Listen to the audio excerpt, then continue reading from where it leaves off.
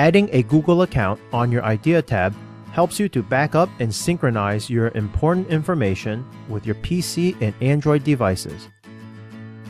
To add a Google account, tap the Settings icon and then tap Accounts and Sync.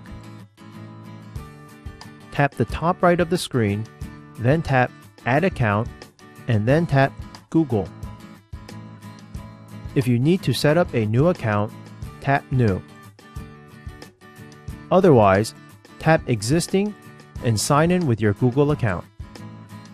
Type your username and password, then tap Done. In the Backup and Restore page, you can choose to enable Google servers to back up your information automatically. Tap Next.